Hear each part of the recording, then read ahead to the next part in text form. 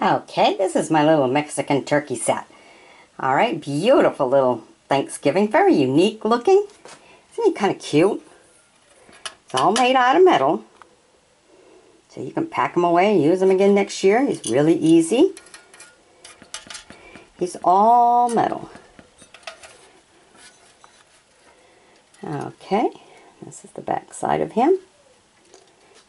And here we have the beautiful front side. All right. It's got a little patch. Look at that. Just love the way they design them. Okay, now in here, look at that. There's a little hole.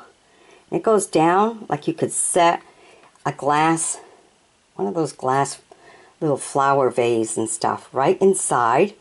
Have that come up and then add some fall um, leaves or fall corn stalks, you know, the small little ends of the corn stalk and stuff to make a beautiful little centerpiece on your Thanksgiving dinner table.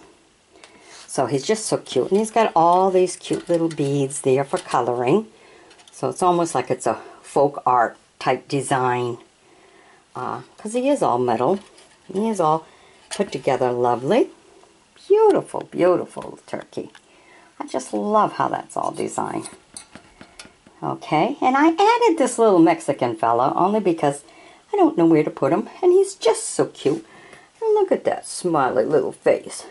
How can you not love that face? Look at him. Got a beautiful little face. He's a turtle. Got himself a little Mexican hat there. And he's just hanging out. But he's just so lovely. They look at my big smile. I'm a happy fella. I even got a tie. I'm here for dinner. Just in time for dinner.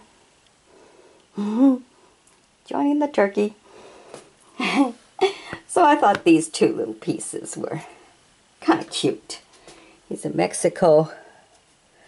What is it? I don't know. I don't know what it really says. Via, Viva, Viva, Mexico.